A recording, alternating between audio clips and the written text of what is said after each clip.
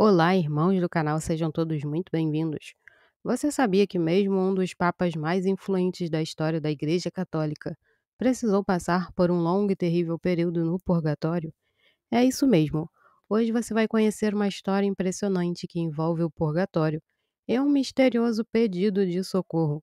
Esse relato mostra o quão sério é o tema das indulgências e a necessidade de purificação, até para os mais altos líderes da Igreja. Antes de mergulharmos nessa história, vamos juntos fazer uma breve oração para preparar nosso espírito e entender melhor o que esse acontecimento nos revela.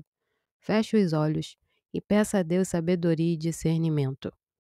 Senhor, nós te pedimos que possamos ouvir e compreender as lições que esta história nos trará. Que através do teu Espírito Santo possamos enxergar a importância de viver de acordo com a tua vontade e reconhecer as consequências de nossos atos. Que Maria Santíssima interceda por nós, ajudando-nos a buscar a santidade em cada momento.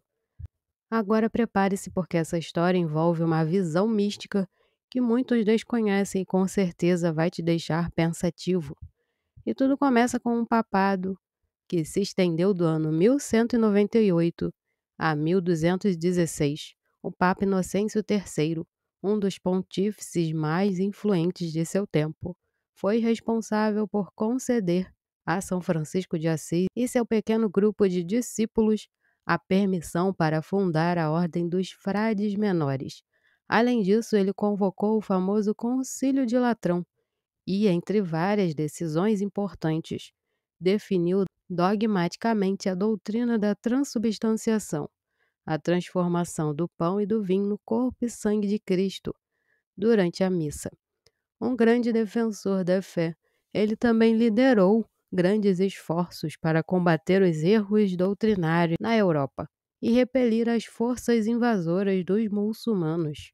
Mas após mais de 18 anos de papado, sua morte repentina não foi o fim de sua história. E aqui é onde o mistério realmente começa. Quando um cristão morre, nós católicos acreditamos que ele pode ir diretamente para o céu se estiver livre de qualquer punição temporal devido aos pecados cometidos.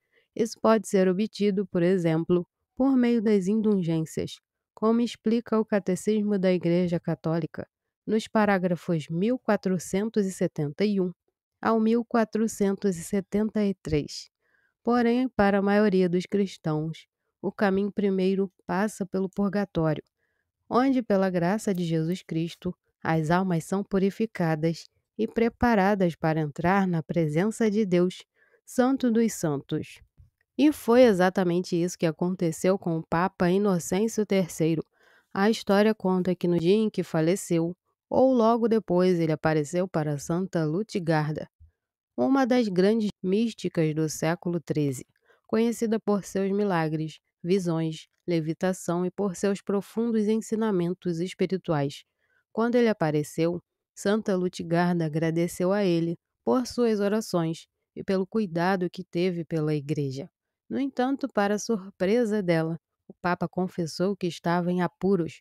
Ele não havia ido direto para o céu, mas estava sofrendo no purgatório, queimando no fogo purificador por três falhas específicas que cometeu durante sua vida. Ele fez um desesperado pedido de ajuda, dizendo: Ai de mim, isto é terrível e vai durar por séculos, se você não vier em meu auxílio. Em nome de Maria, que obteve para mim o favor de apelar a você, me ajude.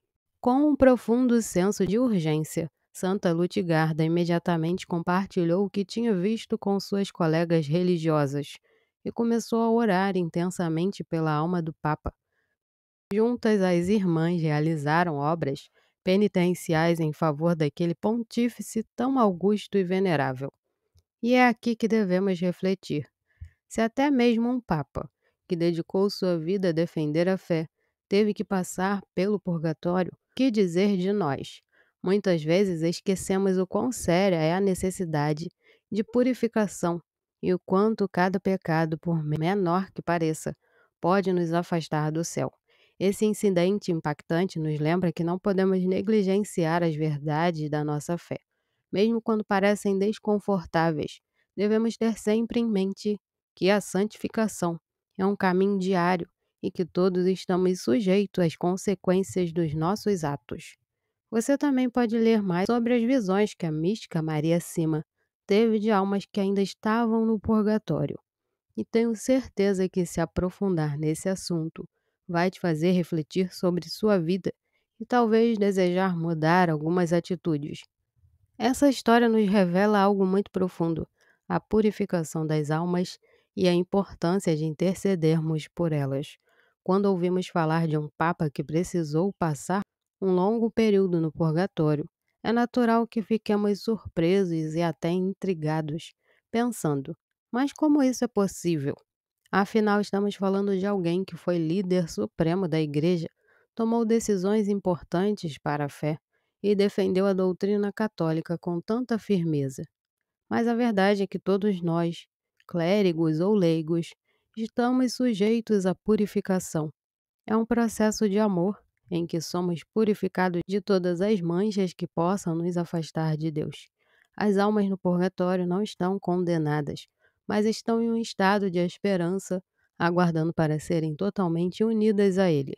Santa Lutigarda, movida pela compaixão e por um senso de responsabilidade espiritual, se entregou em oração, penitência e sacrifícios para aliviar o sofrimento do Papa Inocêncio III. E é justamente essa entrega, esse esforço de intercessão, que a Igreja sempre nos ensina a ter por aqueles que já se foram. Acreditamos que nossas orações podem sim ajudar a purificar essas almas e a encurtar seu tempo no purgatório. E aqui vai uma reflexão para você. Quantas vezes já rezamos pelas almas do purgatório?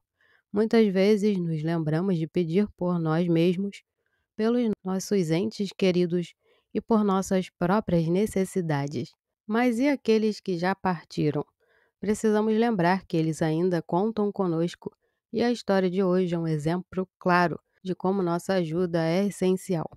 Além de Santa Lutigarda, outras místicas, como já mencionada Maria Cima, tiveram visões de almas do purgatório e falaram das consequências de certos pecados que muitas vezes são ignorados. E ao nos aprofundarmos nesses relatos, percebemos que não importa quão elevada seja a posição que ocupamos nesta vida, todos precisamos de purificação. Por isso, não deixemos essas almas desamparadas. Vamos intensificar nossas orações e pedir a intercessão de Maria Santíssima para que possamos aliviar o sofrimento de tantas almas que aguardam o momento de entrar na plena glória de Deus. E se você ficou impactado com essa história, não guarde só para você. Compartilhe esse vídeo com seus amigos e familiares e com todos que você acha que precisam entender a importância de rezar pelas almas do purgatório. Assim estaremos contribuindo para que mais pessoas tenham consciência desse mistério da fé e possam também ajudar. Não esqueça de escrever nos comentários da onde está nos assistindo, de qual parte do Brasil ou outro país. E não deixe de colocar seus pedidos de oração, que colocaremos todos na oração da madrugada. Até o próximo vídeo.